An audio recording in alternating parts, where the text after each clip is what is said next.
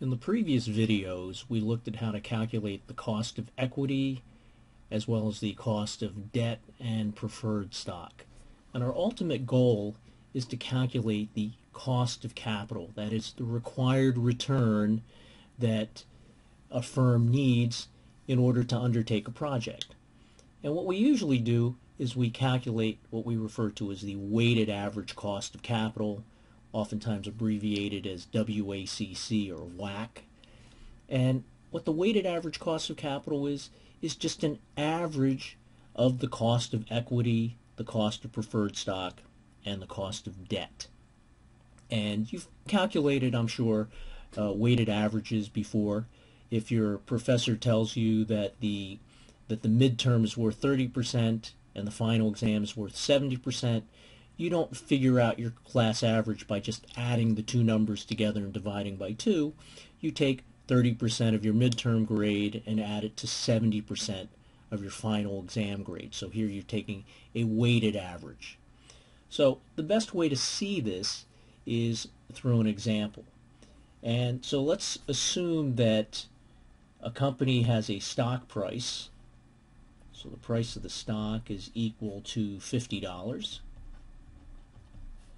And let's assume that there are 3 million shares outstanding. Let's also assume that the firm has $25 million in preferred stock.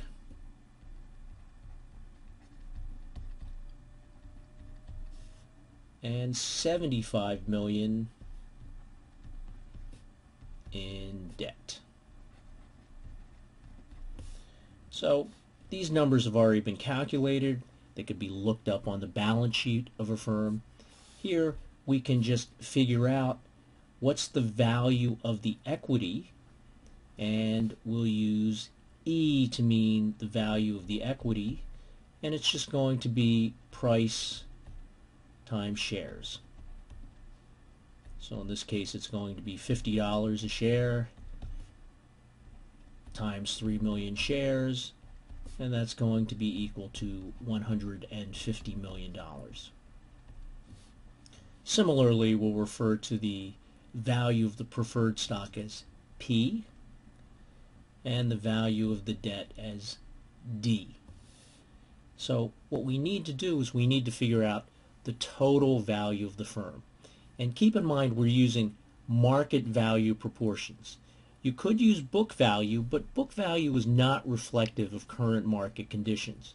If the stock market is rising, we want to reflect that in the proportion of financing that's using equity and debt and preferred stock. So what's the total value of the firm? You just add up these three numbers. The value of the firm is equity plus preferred stock plus debt. And what are the proportions? The proportions, the proportion of equity, which is, it's just going to be the amount of equity we have divided by the total value of the firm. So what's the total value of the firm here? Equity is 150 Preferred stock is 25. Excuse me. And the debt is 75. So that turns out to be 250 million. So what's the value of the equity? it's going to be 150 divided by 250 and if we just punch that into our calculator, we get 60% or 0.6.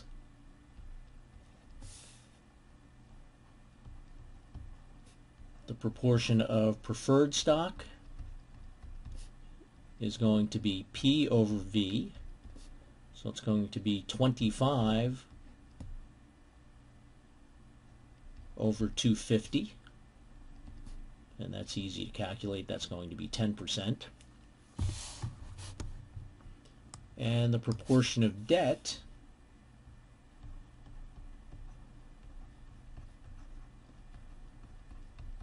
is just going to be D over V, which is 75 over 250. And so we can just divide that out. 75 divided by 250 equals 30%. Actually, I didn't really need to do the calculation because these three numbers should add up to 1, should add up to 100%. So now that we have the proportions, let's figure out what the what the weighted average cost of capital is. The weighted average cost of capital is defined as the proportion of equity times the return equity holders require plus the proportion of preferred stock times return that preferred stockholders require. And recall that in the previous tutorials, we showed how to calculate these. Return on equity could be calculated using the constant growth dividend formula. It could also be calculated using the security market line equation. Preferred stocks return is generally calculated as the dividend yield. Take the dividend, divide it by the price.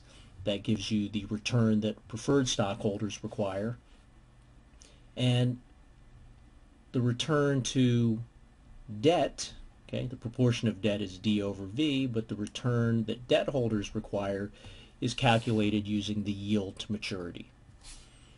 Now we have to do one more thing here with the debt is we have to make an adjustment for taxes. So we have to multiply by 1 minus the tax rate. So this is our marginal tax rate. The reason we do that is that interest payments on debt are tax deductible to the firm. So if for every dollar that the firm pays in interest, they subtract it from their income before they compute taxable income.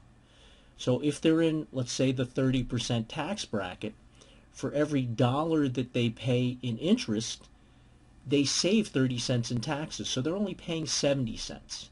So instead of paying a 30%, instead of paying 100% of the interest in their cost, Uncle Sam picks up 1 minus, uh, or picks up T for it because it's deductible. So in this case, they would save 30 cents in taxes, so they're paying 70%.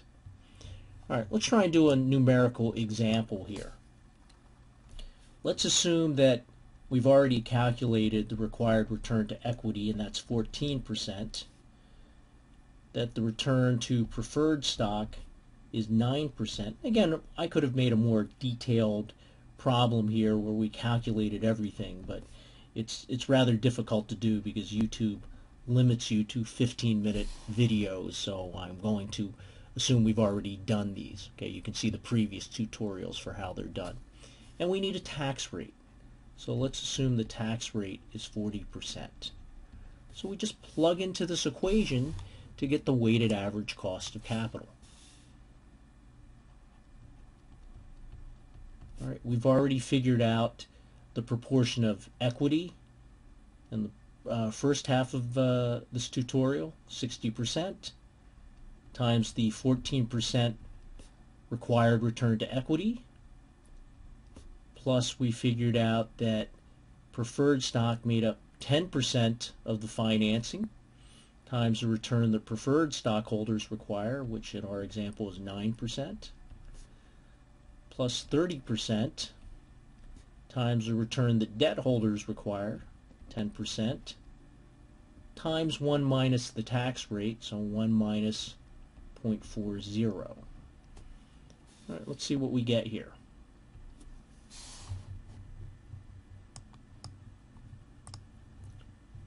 Point, point 0.6 times 14 is 8.4. 0.1 times 9 is 0.9. And then we have 0.3 times 10, 10%, times 1 minus 0.4, which is 0.6. So we get 1.8. And let's add those together. 1.8 plus 0.9 plus 8.4 gives us 11.1%. So our required return is 11.1%. That's how much the firm has to earn in order to be able to satisfy the people that provided the funding for the firm. Stock, common stockholders or equity, preferred stockholders, and debt holders. Now, one caveat here is when you're using the weighted average cost of capital, the assumption is is that the project you're analyzing using net present value or internal rate of return has the same level of risk as the average project undertaken by the firm. If you're undertaking riskier projects, stockholders, preferred shareholders, and debt holders might require a higher rate of return, in which case this isn't valid. Um, it, on the other hand, if you're undertaking a less risky project, then they might be willing to, they might be satisfied with a slightly lower return. So this assumes that the risk is the average level of risk for projects the firm is undertaking. But it gives us now a, a theoretical method for finding a required return as opposed to just saying, let's use 10% or let's use 12% or 15%. We're using um, the returns that are required by the people who finance our firm.